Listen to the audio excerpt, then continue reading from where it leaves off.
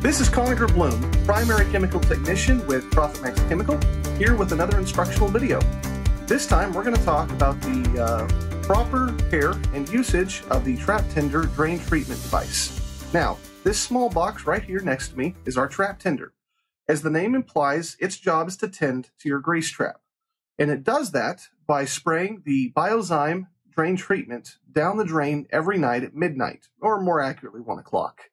It does this so that the digestants inside the Biozyme have time to work on all the greases, proteins, fats, and hairs and other stuff that get down there and clears out the pipe so that you don't have to have a plumber come out and rototiller it manually. This stuff is great. You, as the customer, only have two jobs you need to make sure that there is a capsule full of Biozyme on top of the machine at all times. If for whatever reason you're out of Biozyme, do not take the empty capsule off, as this machine will go off whether or not there's something on top of the bowl or not. Your, your other job is to look for this light on the front.